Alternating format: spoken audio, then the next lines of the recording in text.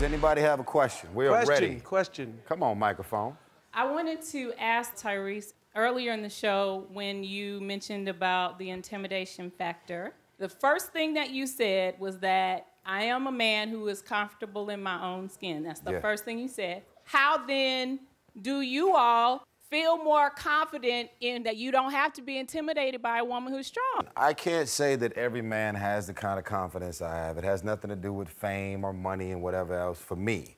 Because anybody who knows me from childhood will always tell you I've always been loud, I've always had a very big personality. I just think personality wise, you got guys that are really shy, you got guys that are way more aggressive about what they want.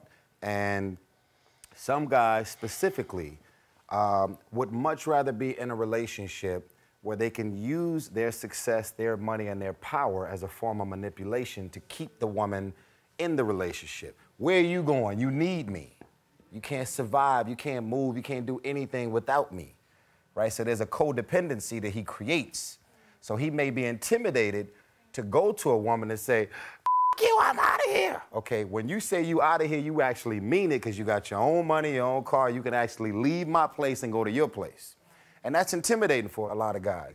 But the goal is to chip away the confidence that's connected to being too aggressive, right? It's just like, have your confidence and your swag about you, but you know, don't be, uh, and it's like, yo, you, you, I'm actually trying to flirt with you and get with you. So I think it's about a man wanting to smell the perfume and still feel like you may have all this and be all that, but you still made me feel like you're interested in me when I'm trying to get at you. So. Anybody else with a question? How does a woman distinguish if a man just wants to sleep with you or is he trying to pursue a relationship? By his actions. If a man wants to be with you, he'll go far in order to show it to you if a man wants to just have sex with you, he will just invite you to his apartment or to his house. He'll tell you, let's have a little bit of Netflix and you have to watch his actions and not his words. And you have to be smart enough to withhold from him. And if he doesn't call you because you've been, you know, decent and saying, I'm not sleeping with you, that's that's mine. This is my sexuality. This is my sex.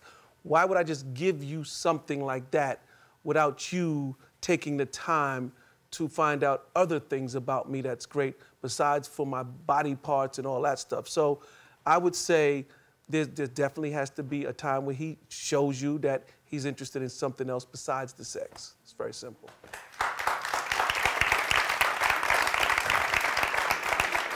Uh, my answer would be a little different. That was a good answer. that's you. a really good answer. That's the real answer, but that's you can go really where you want.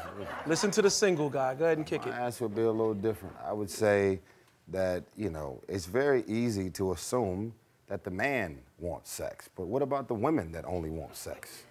What about the women that meet you and as soon as they see you, they think you fly, you tall, you handsome, you this, you that, and they giving you all the indication that they ready to make it happen off top, just like the man is.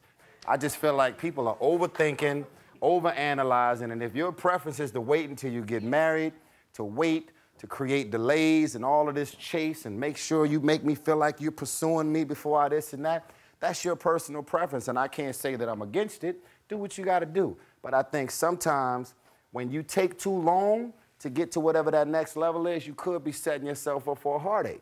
Because if his intentions is just to get some ass and you make him wait six months, he gonna get it, and then you're gonna be like, well, damn, I held back, I this, I that. And you did all of this stuff, creating all these challenges and obstacle courses for him to jump over.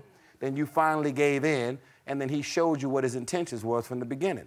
So I would say, look, live your life. You create your own timelines around when you're gonna give it up and, and be grown about it. Best timeline is wait until he gives you that ring. It's not you, it's Reese. We love y'all. Good night. Thank you.